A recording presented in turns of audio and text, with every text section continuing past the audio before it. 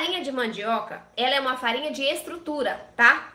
O polvilho doce ou a fécula de mandioca é uma farinha de liga. Então tem diferença, tá? Apesar de ambas, né, vierem da mandioca, virem da mandioca, é, a farinha de mandioca é uma farinha de estrutura. Então eu posso usar ali combinando com outras farinhas de estrutura, como a farinha de arroz, a farinha de trigo sarraceno, tá? Então você pode usar a farinha de mandioca como farinha de estrutura.